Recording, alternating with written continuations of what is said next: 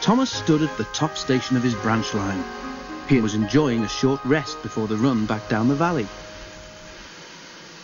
His driver and fireman stood beside his cab talking to the guard who'd brought startling news. Did you know that the station master was burgled last night? he was asking. Thomas's driver shook his head. You don't say, he exclaimed. I didn't know he had anything worth stealing. He's won cups for gardening, exclaimed the fireman. All taken, and then the scoundrels had the cheek to pinch his car to carry them away in.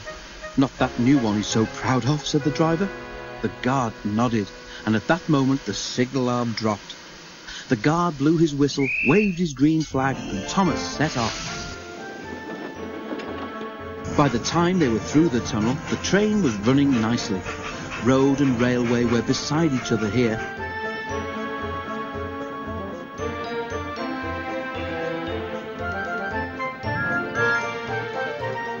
Thomas remembered his race with Bertie the bus.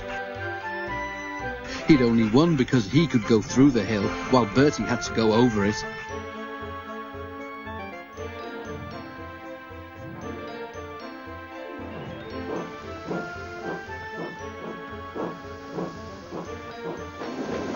Peep, peep, whistled Thomas at every station. Get in quickly, please. At that moment, Percy appeared. Thomas told Percy and Toby what the guard had said. The Fat Controller wouldn't allow it, Percy remarked. I can tell you. Sorry, Percy, said Thomas's driver. We must be off. Time and the Fat Controller wait for no man. Thomas puffed happily along his branch line. Suddenly, a flash of colour on the road ahead caught his eye. He tried to go faster to look more closely. Steady, Thomas, said his driver. There's plenty of time. Can't we get closer to that car? panted Thomas. It looks like station masters to me. Lots of cars look like that, laughed the driver, but he opened the regulator and they began to draw level.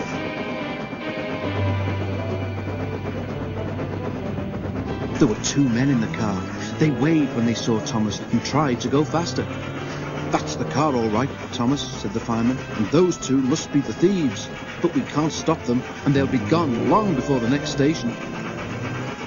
We need pencil, paper, and something to put a note in, said the driver. We'll throw a message out at the next signal box. Quickly, he wrote the note, and they put it in the fireman's empty lunch tin. Then, drawing ahead of the car, Thomas whistled to attract the signalman's attention. They slowed so that the fireman could throw the box up to him, and as they went past, both driver and fireman shouted, Police! at the top of their voices. By now, the stolen car had gone well ahead, and Thomas did not see it again. But the signalman telephoned police headquarters at once, and the thieves were stopped at a roadblock about 10 miles further on. That afternoon, the Fat Controller travelled in Annie to Ffarquhar. When he got there, he and the station master told the passengers the whole story, and the station master thanked Thomas, his driver, and his fireman for their prompt action. The passengers cheered loudly, and they cheered even more when they heard that the station master's gardening cups had all been found undamaged in a sack in the boot of the car. A long time ago, said the Fat Controller, Thomas showed how valuable he is to the smooth running of my railway.